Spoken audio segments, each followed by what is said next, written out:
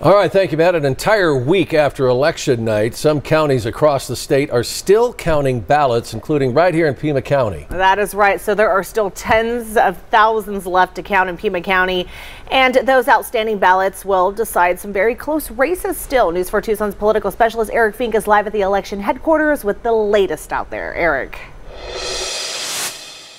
Uh, hey there, Monica Sean. We are expecting another ballot drop here in Pima County shortly, within the hour. Pima County says they still have about 62,000 ballots left to count. That number is expected to shrink by the end of the night as election workers are counting ballots right now. Pima County election officials say 88% of the count here in our county is complete. Many of the election workers are volunteers. They are both Democrats and Republicans, making sure this process is accurate and fair.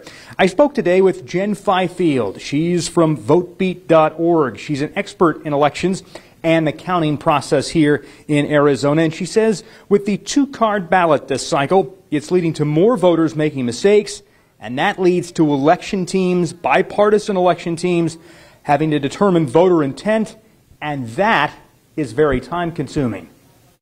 You get a very long ballot and you try to fill it out and you get halfway through and you make a mistake. And sometimes you would, at a polling place, request a new ballot.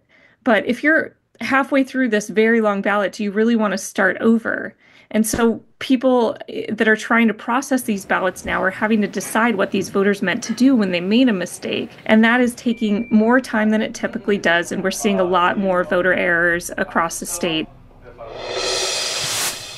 Again, we are expecting that next vote drop to come within the hour. Pima County here has been dropping 15,000 to 20,000 ballots for the last several days each day.